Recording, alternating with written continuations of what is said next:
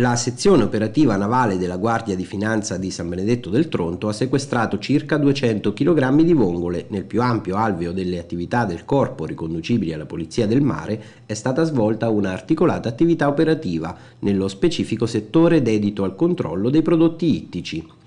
Complessivamente sono stati sequestrati, come già detto, circa 200 kg di molluschi bivalve irregolarmente detenuti.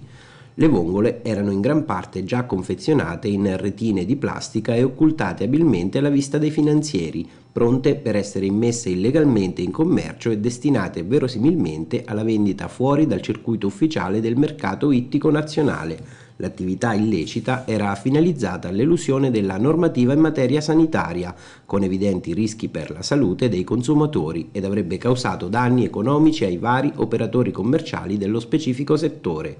il prodotto ittico posto sotto sequestro, per mancanza della relativa tracciabilità, è stato reimmesso in mare, previa certificazione dell'autorità sanitaria veterinaria che ne ha constatato la non idoneità al consumo umano, facendo salvo il ripopolamento marino.